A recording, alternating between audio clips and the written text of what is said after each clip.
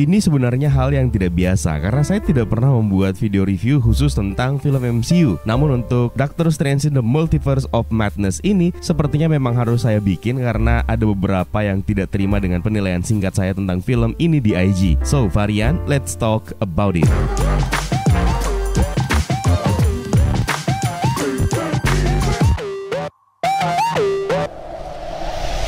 Untuk kalian yang belum sempat nonton karena masih berada di kampung atau mungkin masih belum ada kesempatan, saya pengen kasih peringatan terlebih dahulu kalau video ini akan mengandung spoiler mengenai filmnya karena memang tidak mungkin bisa kita hindari untuk memberikan penilaian. Namun yang jelas ending explanation serta breakdown easter eggs-nya akan menyusul setelah ini. Doctor Strange in the Multiverse of Madness menjadi film yang laris ditonton saat ini. Bahkan saya yang nonton di hari kelima saja masih harus berjuang untuk dapetin tiket bioskop. Meski di dalam ada begitu banyak kursi kosong ternyata.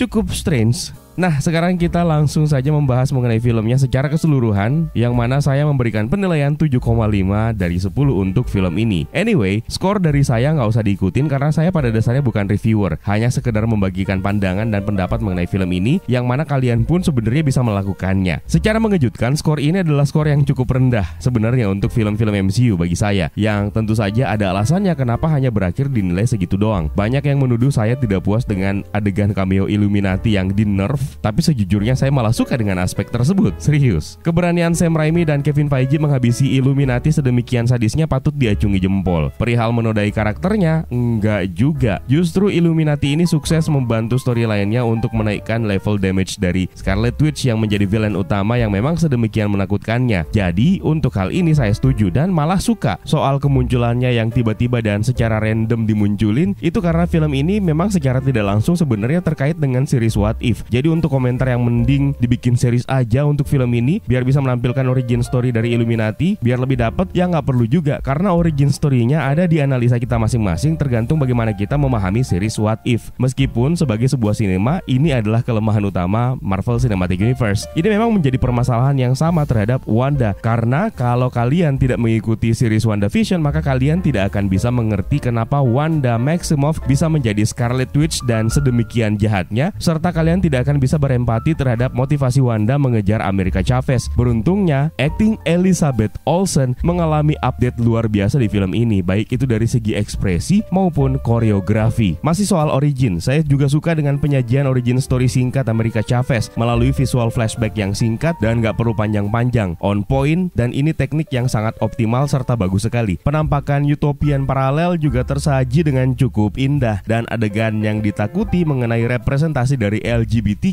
Plus sama sekali tidak mengganggu. Yang jadi kelemahan utama sebenarnya adalah motivasi dari Illuminati sendiri. Rasanya aneh dan kurang. Sebagai contoh, sikap arogan yang terlalu dipaksakan dari Captain Carter dan Captain Marvel Maria Rambeau yang menegur Strange yang menganggap Illuminati itu lelucon. Acting dialog dan adegannya pun juga sangat tidak penting, terutama di bagian Captain Carter yang tiba-tiba ngelemparin shieldnya. Itu rasanya terlalu lebay dan tidak perlu. Masih menyoal cameo ya. Yang saya sayangkan sebenarnya adalah Harintra yang mana ini terlalu disia-siakan. Bahkan bisa dibilang ada tidak menambah, mati tidak mengurangi. Padahal alangkah baiknya jika karakter ini dikasih tahu sekilas siapa dan kenapa bisa ada di kamar touch di antara para ras manusia Master of the Mystic Arts. Aspek berikutnya adalah plot dan developing story. Sam Raimi berhasil menyajikan sesuatu yang tidak biasa untuk film-film Marvel Cinematic Universe. Beliau bahkan berani memulai film ini dengan oktan tinggi tanpa ragu dan malu-malu yang secara mengejutkan bagi saya tidak merusak cinema experience dan tetap asik untuk dinikmati setiap plotnya tanpa harus terjebak di template perkenalan dan origin story terlebih dahulu. Ini cukup berhasil dieksekusi oleh Sam Raimi. Menariknya di film pertama dan kedua dibuka dengan hal yang sama yaitu buku kuno yang berisi mantra-mantra hebat. Di film pertama dibuka dengan perburuan Book of Cagliostro. Di film kedua ini dibuka dengan upaya mendapatkan Book of Vishanti untuk membantu perlindungan dari serangan monster. Getarannya memang terasa cukup mirip, hanya saja aspek ini memiliki kelemahan yaitu pacing yang yang terlalu ngebut dan naskahnya yang terlalu lemah. Sejak awal bahkan kelemahan ini diperlihatkan mulai dari obrolan ataupun dialog sampai kepada apa yang ingin dilakukan. Defender Strange terlihat banget kebingungan mau melakukan apa setelah monster yang mengejar Amerika Chavez sampai akhirnya tewas dengan konyol. Itu hanya satu contoh adegan saja di antara beberapa adegan yang saya rasakan cukup lemah. Aspek berikutnya adalah visualisasi dan color grading. Karena film ini bersetting lokasi di berbagai tempat, bahkan di berbagai universe, maka untuk urusan visual nggak boleh digarap main-main. Beruntungnya apa yang disajikan oleh Sam Raimi looks good dan beautiful. Sangat memanjakan mata banget. Untuk ukuran semesta yang hitungannya adalah fantasi dan tidak pernah kita bayangkan sebelumnya. Film ini berhasil menyajikan visualisasi yang cukup keren dengan color grading yang nyaman di mata dan cukup logis. Adegan favorit saya adalah beberapa universe alternatif yang disajikan secara cepat, terutama universe alternatif animasi. Tapi agak kurang memuaskan di bagian zombie Defender Strange yang terlihat kurang natural di bagian makeupnya. Mengenai visual efeknya sendiri, terutama di bagian jiwa-jiwa terkutuk itu sangat epic. Apalagi digarap dengan visual style Sam Raimi dengan berbagai elemen Sam Raimi di dalamnya yang cukup menyenangkan di beberapa part, menjadikan film ini menjadi film terunik MCU sejauh ini. Setelah film Eternals, film ini adalah film yang sangat jauh dari formula MCU secara keseluruhan dan itu adalah poin yang cukup bagus. Kombinasi scoring musik dari Danny Elfman pun juga menambah keunikan film ini sendiri dan bahkan bisa dibilang ini menjadi salah satu karya hebat dari Danny Elfman di tahun ini. Dan yang terakhir yang cukup mengecewakan adalah bagaimana Wong sebagai Sorcerer Supreme berulang kali meminta